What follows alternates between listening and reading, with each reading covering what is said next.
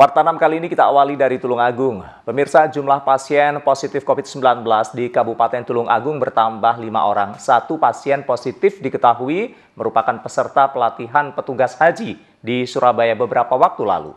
Sedangkan empat pasien lain melakukan kontak dengan pasien dalam pengawasan yang sebelumnya meninggal dunia.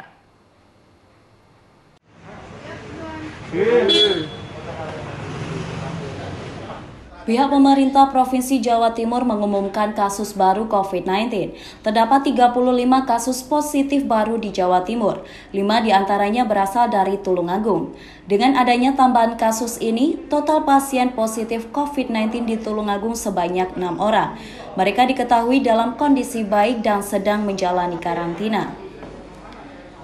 Dari hasil tracking yang dilakukan oleh gugus tugas penanggulangan COVID-19 di Tulungagung, dari lima kasus baru ini satu pasien diketahui merupakan peserta pelatihan haji yang berlangsung di Surabaya. Sedangkan empat pasien lain melakukan kontak dengan salah seorang pasien dalam pengawasan PDP yang meninggal dunia. Petugas akan melakukan tracking terhadap keluarga para pasien yang dinyatakan positif ini dan akan memeriksa kondisi kesehatan keluarga pasien.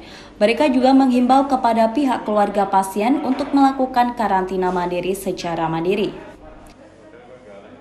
Uh, benar bahwasanya sesuai data dari provinsi bahwasanya hari ini Kabupaten Tulungagung ada penambahan 5 pasien positif corona atau COVID-19 jadi kumulatifnya menjadi 6 yang terkonfirmasi. Itu berada di kecamatan mana saja Pak? Uh, ada dari kecamatan Tulungagung satu, Kedungwaru dua, Ngantru satu, Kauman satu, dari kecamatan Campur Darat satu. Pak, untuk yang lima pasien baru ini dia sebelumnya PDP atau pas baru? Uh, ya kita ya pasien PDP jadi uh, tapi secara klinis saat ini kelima pasien tersebut dinyatakan sehat. Pak, apakah klaster dari Surabaya itu Pak? Maksudnya gimana? Punya riwayat atau dari pernah kontak dengan PM Ada yang jelas bukan bukan bukan dari uh, satu yang dari pelatihan haji, yang lainnya bukan dari uh, pelatihan haji. Jadi yang jelas ada kontak di Kabupaten Tulungagung. Untuk saat ini dirawat di mana Pak? Uh, saat ini di karantina.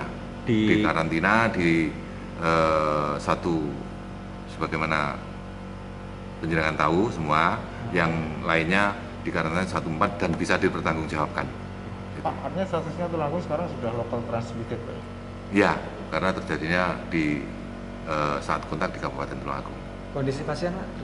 Secara klinis dinyatakan sehat, makanya uh, mereka dikarantina uh, yang sangat bisa dipertanggungjawabkan tempat karantinanya. Sementara kami mohon maaf tidak menyebutkan yang satu tempat karantinanya, yang lain di mana.